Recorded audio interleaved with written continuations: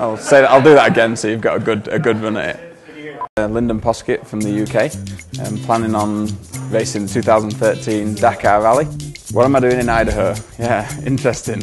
I was on a business trip actually over in DC, uh, and I knew talking to some ex-Dakar racers, uh, Ned Suesse and uh, Casey McCoy, that there was some awesome riding uh, in Idaho to be had. So pretty hardcore single track, you know, and not we've not run the same same track twice, same trail twice. Um, we've not stopped, been up early in the morning, getting back late in the evening. Uh, these, you know, Casey and Ned have been trying to wear me out. I'd just like to thank Klim for the opportunity to come and have a look around the headquarters here. It's been really good.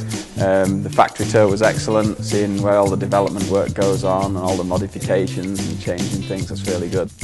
In the, in the run up to Dakar, there's obviously a lot going on in terms of preparing for the Dakar. The biggest challenge uh, has got to be the financial side. Um, as a privateer, it's, it's not cheap getting to the Dakar Rally. Klim have helped out no end. We've got the new Inferno jacket, um, fully logoed up. It's available through the website, lyndonposkittracing.com. In terms of goal setting for Dakar, uh, I think the most important thing is to finish the race. If the position comes, that would be great.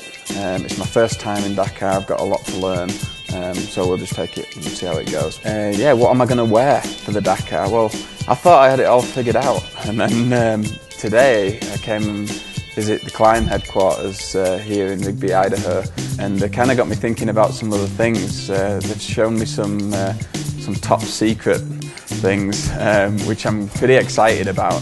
So yeah, I'm hoping to try and uh, maybe test some of that over the coming months. But for sure, it'll be Klim gear that I'll be riding. Um, the guys here at Klim are doing an awesome job sorting me out with that. To see that they take pride in the product and they're really pushing it and, and constantly evolving.